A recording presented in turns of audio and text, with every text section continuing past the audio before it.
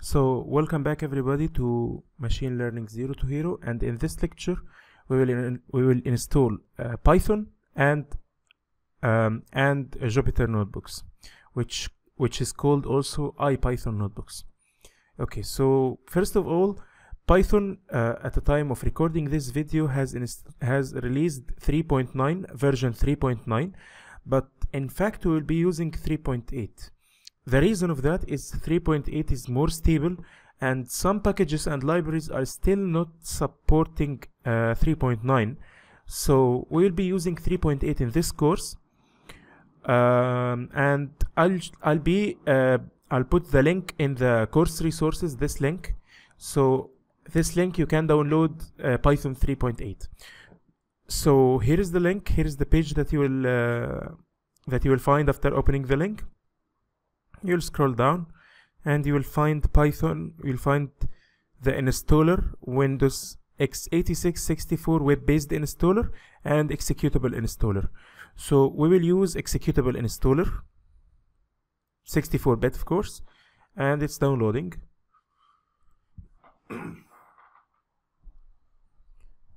So we will run. And please focus in this part First of all, we will install, but make sure you add Python 3.8 to path. Adding Python 3.8 to path makes it uh, a lot easier when you run programs. Because if you didn't include that, sometimes Python uh, will crash and it will say that there is no compiler for Python code to, uh, to compile the code itself. So adding uh, Python 3.8 to path is very essential because you cannot run a Python code without adding it to the path. The path is basically, in simple words, it's the place where you include all the compilers for every every programming language. So let's say you have C++ program. So when you run this program, it has uh, there's a compiler, C++ compiler, that has to compile this code. If the, if the compiler is not added to path, it will not run. It will say that there is no uh, there is no uh, compiler for C++. So we will click tick on this one and then we will write install now. So it includes idle. Idle is a basic text editor we'll not be using it. Pipe. Pipe is um, is the package manager that we that we talked about before and the documentation. So we'll run it.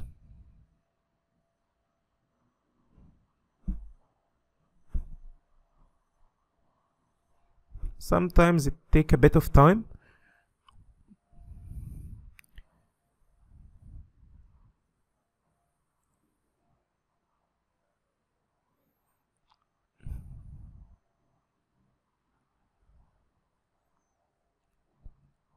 so we will pause the video and we'll get back when it when it is done. Okay so it's done. Setup was successful. And we'll close this one. So now we have pipe and python. And if we want to make sure which pipe and python versions are we have so we will write python space dash dash version. So here it is python 3.8.0 and also we'll check for the pipe version which is the package manager with the same way. And it's 19.2.3 so now we are ready to install the python uh, jupyter notebooks. So installing jupyter notebooks is basically very easy. So write install or another pipe jupyter notebook. So it's, very simple to install any uh, any package to uh, to Python and Jupyter Notebook is considered as a package or treated as a package. So let's write pipe install and the package name and that's it. So we'll copy this one and we'll paste it here. Pipe install Jupyter Lab. If we want, for example, to install package XYZ, we'll write pipe install XYZ and that's it. Okay, so here it is. It's downloading, collecting, blah, blah, blah.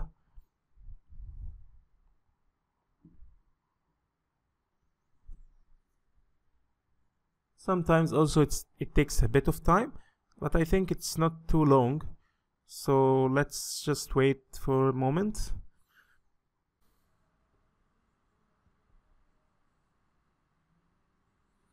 Okay so I'm back. It's done. Took too much time and this is not uh, it's not uh, doesn't happen all the time but okay. So now we will try to run the Jupyter notebook okay so as I told before in the previous lecture Jupyter notebooks are basically a web-based IDE so you can write and execute the code in a very easy and simple way especially for beginners because Jupyter notebooks are kind of um, you can execute each part in the code separately and see the result. So let's try to check it manually and we write only Jupyter notebook and try to run this one so should yeah here it is. So it so it opened in uh, Google Chrome here as you can see.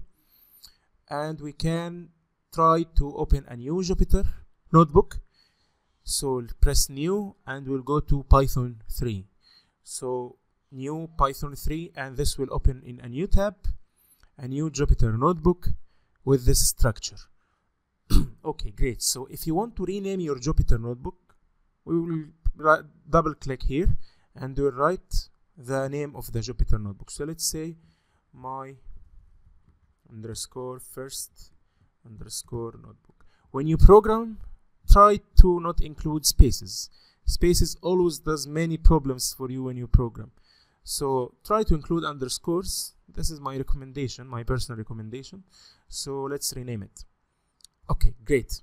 And here, if you can see, this is in so in stands for input and input from its name you write your code here. So you write a bunch of code here. Of course, let's try to print hello world. We'll learn more about Python syntax in the next lecture, but this is just the beginning. Hello world. So we will press shift enter to run this one. So here it is, shift enter. This is to run the code. Or if you want this is a shortcut and if you want to run the code you can run here run. Okay so input and this is basically the output of your code. So write a bunch of code here or a group of lines of code here and you run them. It appears here. The output appears here. So in stands for input. 2 is basically the second trial. So if we wrote here also print hello world it will print 3 so it's like a sequence. You just printed this one and then this one. If you go back and print the first one it will be four. So it's a sequence. You printed this first and then the first cell uh, second. So this is for the code. If you want to add a new cell you just press on the plus button here. If you want to save you just press save. If you want to cut a cut a complete cell so you cut a cell. If you want to paste from this one. Sorry this is a copy. If you want to paste you paste here. Let's try to cut this one and paste it here. So it's cut and paste and copy and paste. This one is move selected cell up. So if you want to move this one to the to the top of the notebook so like this. If you want to remove it to the bottom from this one and run this is if you're running a long code and you want to interrupt the code or you want to stop running it. So you press this one. This one is to restart, so it restarts everything. And this one is for restart and run. So restart the kernel, it deletes all the variables but doesn't run it run the codes again. And this one, it restarts the kernel and rerun the whole codes again in sequence, of course. So what is this one? Basically we will not take care of all of them uh, of this of the last two but we will take care of the first two. The first one is a code so you just write a python code and the second one is a markdown.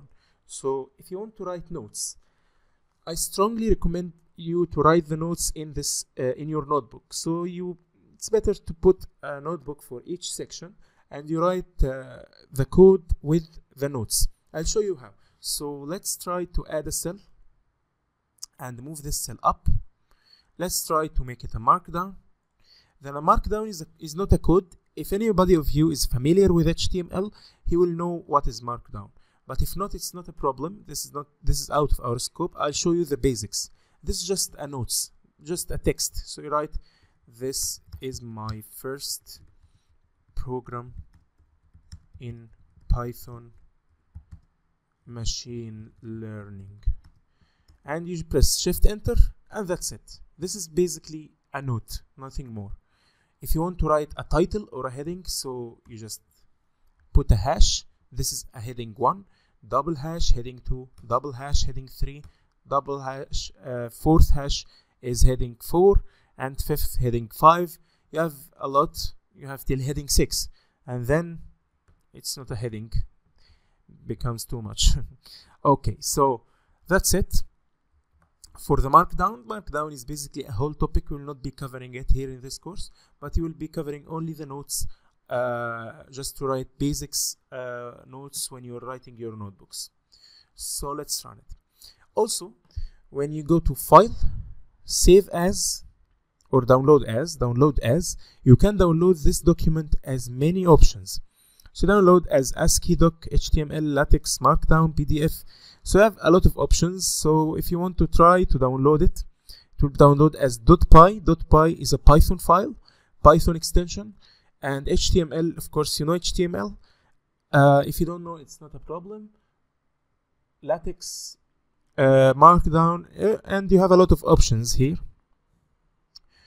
if you want to download it uh, normally with the main extension of Jupyter Notebook so you press save here and it's already saved here my first notebook.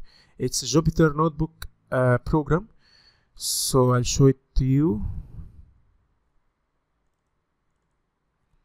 This one my first notebook.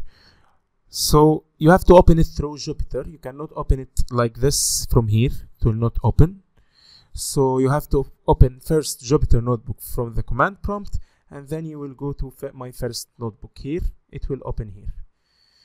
Alright so I think that's it for this lecture. I hope you enjoyed and if you faced any problem during the installation process of this uh, of Python and IPython or Jupyter notebooks just write me below in this uh, in the Q&A of this uh, of this video and I'll try to answer these questions as quick as I can Thank you so much for listening to this lecture. I hope you are enjoying this course so far and don't forget to write your review.